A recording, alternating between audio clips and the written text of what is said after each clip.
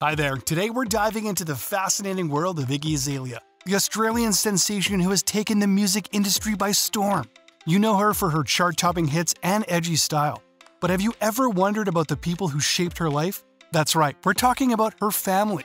Iggy's mother, Tanya, has been a significant figure in her life. She has been known to support Iggy's musical aspirations from an early age. Despite the challenges and adversities that Iggy faced during her journey into the music industry, Tanya remained a source of encouragement and support.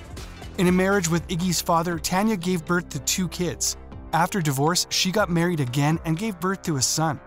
Iggy's father, Brendan Kelly, is a talented artist with a unique flair for creativity who still lives in Mullumbimby, Australia, where Amethyst Amelia Kelly, Iggy's real name, spent her childhood. He's an accomplished visual artist known for his distinctive style. His dedication to his craft surely influenced Iggy's approach to her music and visuals. It's incredible how creativity can run in the family. Iggy Azalea also has siblings. Her younger sister, Emerald Kelly, looks really like her sister.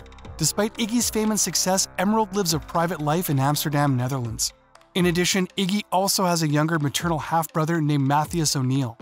He studies at New York Film Academy, Australia, and is also close with his sister. Overall, Iggy Azalea's family background has contributed to her identity and journey as an artist. That is all. Tell us what you think.